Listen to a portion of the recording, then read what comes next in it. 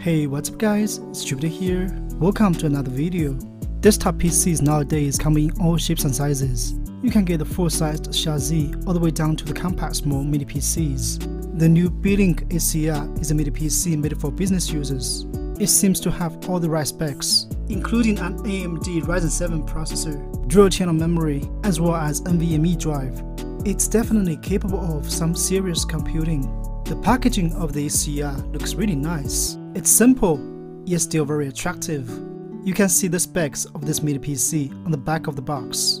The unit in my hands features 16GB of memory, 512GB of internal storage, Inside the retail package, you will find a user guide, a wall mount bracket, a 57 watt power adapter, two HDMI cables, and a mini PC. Beelink products were never really known for their designs. Don't get me wrong, most of them look just fine, but they somehow lack a little bit of character. This new SER could possibly be the game changer. It's extremely stylish. The carved finish on the top gives this computer a beautiful premium look the branding of Beelink and AMD also look quite lovely. As compact as it is, the SER still packs in I.O. There are two USB 3 ports, a multifunction USB-C port, and a 3.5mm headphone jack on the front side. You can also find a CMOS reset hole and a power button with LED built in. The SER has an active cooling system inside, so it features quite a lot of vents on the surface of the case. On the back side of this computer, you will find two more USB 3 ports, an RJ45 Ethernet jack, two HDMI 2.0 ports, and a DC port. The only missing item you might need is an SD card slot. The bottom side of this SER is pretty nondescript. There are indications in the middle on how to enter BIOS setup and boot menu, just in case you might need to. There are also two rubber stripes to make sure the SER stays on your desk. If you have a screwdriver, you can easily get inside the system Normally, you wouldn't have to do that unless you have to make a repair. Because the SER is so small, there isn't really much expansion room inside. You can find a bracket for a 2.5 inch SATA hard drive or SSD, but nothing more than that. Still, even having the ability to add more storage is an impressive feature considering how tiny it is.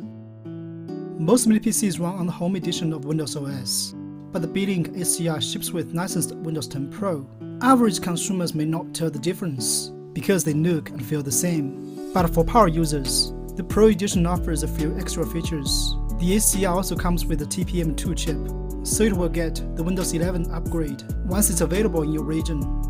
By the time I finished making this video, my SER was already running on Windows 11. So I will share my experience with this new operating system in another video. If you would like to see that, a subscribe to the channel would be nice.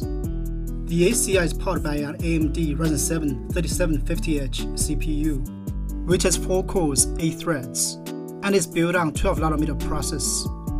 It also features Radeon RX Vega 10 GPU, 16GB DDR4 memory, and 512GB NVMe drive.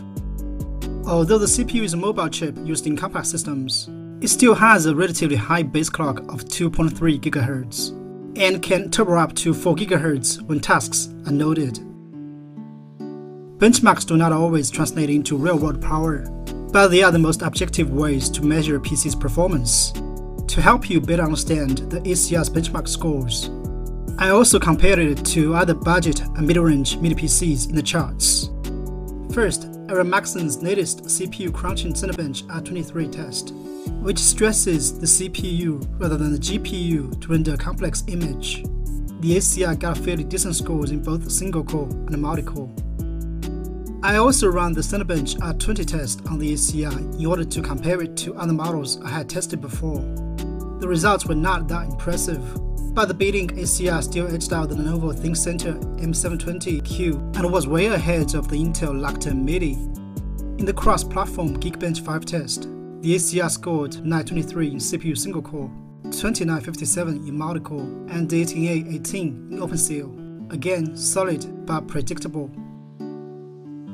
PCMark 10 simulates different productivity and content creation workflows. We use it to assess overall system performance for Office-centric tasks, such as word processing, spreadsheeting, web browsing, and video conferencing. The SER scored 3681 in the standard PCMark 10 test, ranking above the i5-8400T powered Lenovo ThinkCentre M720Q. Everyone knows that AMD integrates better GPUs in their processors than its major rival Intel. The Radeon RX Vega 10 GPU found in the SER may not match discrete graphics in mainstream desktop PCs or gaming laptops, but it does offer enough power for office computing and even a little bit gaming. In the graphics-focused 3D Mark tests, the SER easily outpaced models featuring Intel UHD graphics, and was only slightly edged by the Intel NUC 8, which comes with the new generation Iris Plus graphics GPU.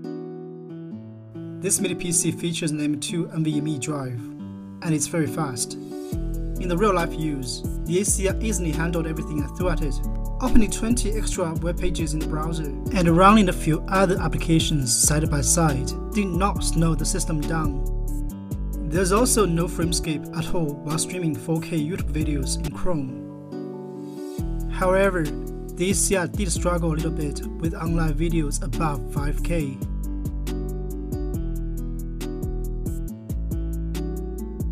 Editing videos in PowerDirector should be challenging for most mini PCs, but not so much for the SER. It felt almost as smooth as my main computer, which features Jasper Lake i5 CPU and RTX 1660 Super graphics. MIDI PCs are never designed for gaming, but the SER is able to run most 3D games at moderate settings. Fortnite was quite smooth under 1080p and no visual settings.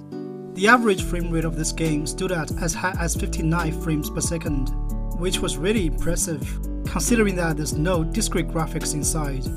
Warframe and CSGO were also generally smooth, although there might be frame drops in some of the scenes.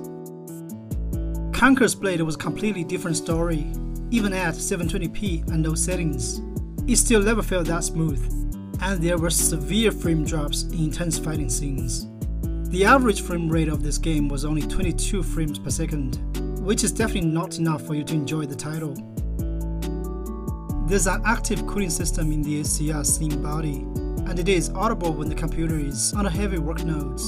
Fortunately, noise was never really too loud and won't be constantly in your ears. Thanks to the efficient cooling, the SER's performance is also quite stable. It passed the 3D Mark Skydiver stress test with flying colors, and also did very well in AIDA64. When the CPU was fully loaded for 25 minutes, its temperature stayed below 45 degrees all the time with a power limit of 35 watts. The SER naturally consumes more power than most budget mini PCs, but it is still much more energy conservative than most desktop PCs and powerhouse laptops. The SER has two HDMI 2 ports and a multifunction Type-C port, so it can be connected to as many as 3 monitors at the same time. You can even set all video output to 4K 60Hz. There are only a handful of mini PCs that can serve as your main computer. The SER is one of them.